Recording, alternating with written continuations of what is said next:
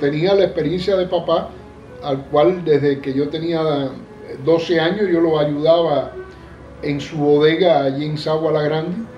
O sea que conocía más o menos eh, cómo se llevaba una tienda, cómo se desarrollaba un negocio. Y claro, todo negocio, aunque el, y aún el negocio de la cultura, tiene que tener una base comercial, porque si no, no se puede tener. Eso es una realidad.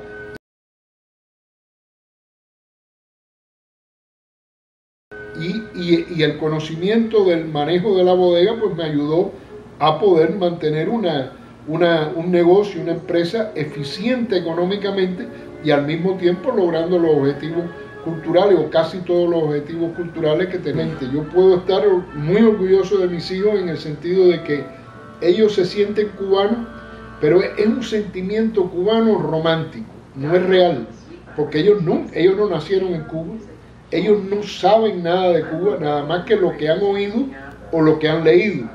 Pero eso no crea el vínculo con la tierra que, que tenemos nosotros, que, que, nacimos allí, nos desarrollamos y nos educamos allí. Inclusive una vez nosotros conseguimos una base en Santo Domingo, en República Dominicana, y cuando ya teníamos allí los barcos, eh, los estudiantes, los grupos en entrenamiento, en los Estados Unidos fuerzan al gobierno dominicano a que nos expulse de, de Dominicana y no, nos expulsan. Y eso nos creó a nosotros una crisis casi total y ya nos dimos cuenta de que no teníamos medios para poder seguir la lucha.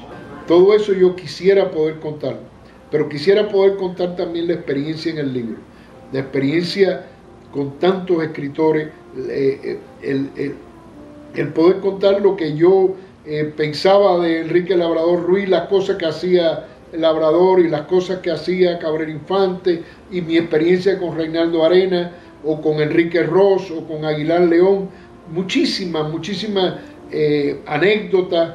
Yo quisiera poder contarle, yo quisiera dejarle expresión que es una parte del exilio que se conoce menos y que es enriquecedor. Aquí los cubanos han trabajado muchísimo en la literatura, han trabajado muchísimo en la historia y realmente el otro día Giovanni, cuando estaba en Miami, dijo que como que en Miami, en los cubanos, en el exilio, se había refugiado la verdadera historia de Cuba, se había refugiado las costumbres, la manera de pensar de la nación cubana permanente y esencial. Y yo creo que hay algo de eso en todo lo que han hecho los intelectuales y los escritores cubanos. Realmente ha sido una labor extraordinaria de ellos.